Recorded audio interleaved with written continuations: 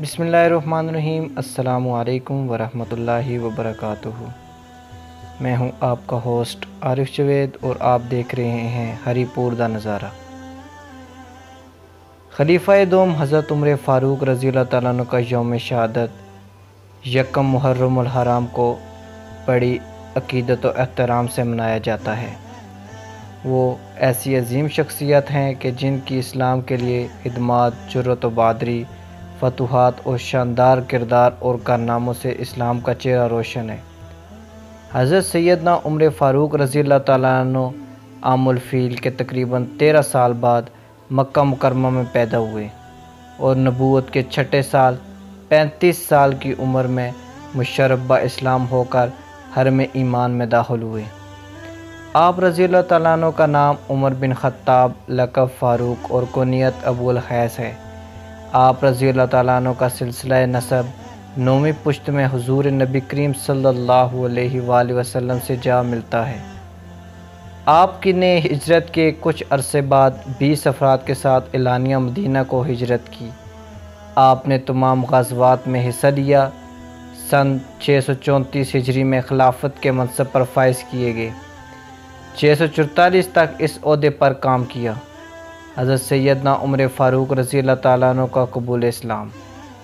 हज़रत सैदना उम्र फ़ारूक रज़ी तु वो अजीमरतब शख्सियत हैं, जिनके लिए रसूल अलैहि वसल्लम ने अल्लाह ताला से खसूसी तौर पर दुआ मांगी थी। पैगंबर खुदा ने गुलाफ़ काबा पकड़ कर दुआ मांगी कि ए अल्लाह मुझे उमर बिन ख़त्ताब अता फ़रमा दे। कबूल इस्लाम के बाद ऐद नबी में आप रज़ी तु को सरकार दुआलम अलैहि वसल्लम का ना सिर्फ़ कुर्ब हासिल हुआ, बल्कि तमाम मामूलत में आप रज़ी तु की मशावरत को अमियत हासिल थी। गजवातों या हुकूमती मामलात, सब में आप रज़ी तु से मशवरा लिया जाता था। हज़रत उम्र फ़ारूक रज़ी तु दूसरे खलीफ़ा राशद हैं। नबी करीम सल्लल्लाहु अलैहि वसल्लम और हज़रत अबू बकर सदीक रज़ी तु के बाद आपका रुतबा सबसे बुलंद है। आपके बारे में हजूर सलम ने फरमाया, मेरे बाद अगर नबी होता तो उमर होता। उमर की ज़ुबान पर खुदा ने हक जारी कर दिया। हज़रत उम्र फ़ारूक रज़ी तन से कुफ़ार की रूह कामती थी। हजूर पाक वसल्लम ने फरमाया, उमर जिस रास्ते से गुज़रते हैं, शैतान अपना रास्ता बदल देता है। मेरे बाद अबू बकर उमर की इब्तदा करना। दौर खिलाफत आपके दौर खिलाफत में इस्लामी सल्तनत की हदूद बाईस लाख मुरबा मील तक फैली हुई थी। आपके अंदाज हुक्मरानी को देख कर एक गैर मुस्लिम ये कहने पर मजबूर हो गया कि अगर उम्र को दस साल खिलाफत की ओर मिलते तो दुनिया से कुफर का नाम निशान मिट जाता। हज़रत उमर ज़ीरा तन का ज़माना खिलाफत इस्लामी फतूहत का दौर था। इसमें दो बड़ी ताकतों, ईरान और रूम को शिकस्त देकर ईरान, इराक़ और शाम को इस्लामी सल्तनतों में शामिल किया। बैतुलमक़दस की फ़तह के बाद आप ख़ुद वहाँ तशरीफ़ ले गए हज़रत उमर फ़ारूक रज़ी तन सबसे पहले अमीरमिन कहकर पुकारे गए आपने बैतुलमाल का शोबा फ़ाल किया। इस्लामी ममलिकत को सूबों और ज़िलों में तकसीम किया। अशरा खराज का निज़ाम कायम किया। मरदमशुमारी की बुनियाद डाली। काजियों के लिए ख़ती तनख्वाहें मतन की। अहदास यानी पुलिस का महकमा कायम किया जेल खाना वाज किया और जिला वतनी की सज़ा मुतारफ़ की। सन हिजरी जारी किया, ज़रात के फ़रोग के लिए नहरें खुदवाईं।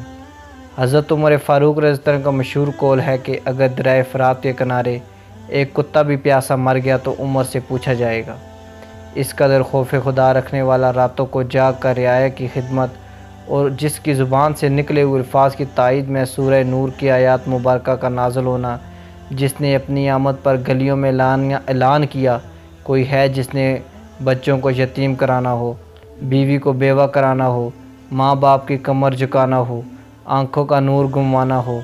आए, उमर ने मोहम्मद रसूलुल्लाह सल्लल्लाहु अलैहि वसल्लम का की ग़ुलामी का दावा कर लिया है। आज से एलानिया अजान और नमाज़ हुआ करेगी। शहादत।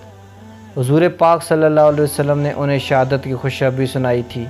सत्ताईस लज्जा सन तेईस हिजरी को हज़रत उम्र फ़ारूक रज़ी नमाज़ फ़जर की इमामत कर रहे थे कि अबू लोल फ़रोज़ नामी मजूसी खंजीर ने आपको जैर आलूदा खंजर से ज़ख्मी कर दिया।